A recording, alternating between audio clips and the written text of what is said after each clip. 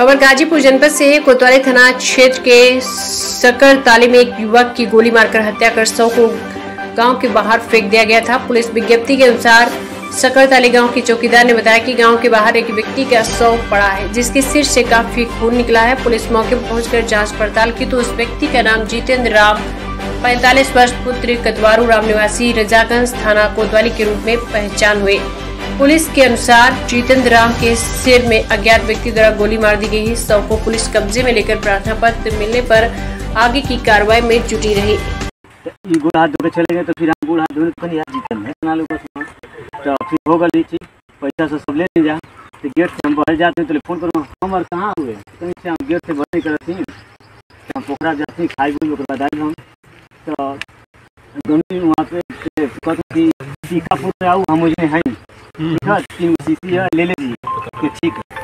तो वो बात चले हम खाए। चले हम दस मिनट पाँच मिनट पहले खा के हम जाए। खा के ओकर बाद जे गमी फिर फ़ोन करूँगा तो बनिया पार करी था।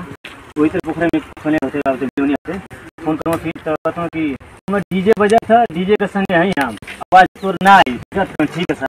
ठीक है, सर, हम आवाज़ सीखा तो गमी तो टीकापुर में सन्नाटा कुछ है ना करी उसमें। ये, तू क्या बोलते रोड लाइट फिर सारी उड़ीसा कुछ भी था वहाँ पे थे।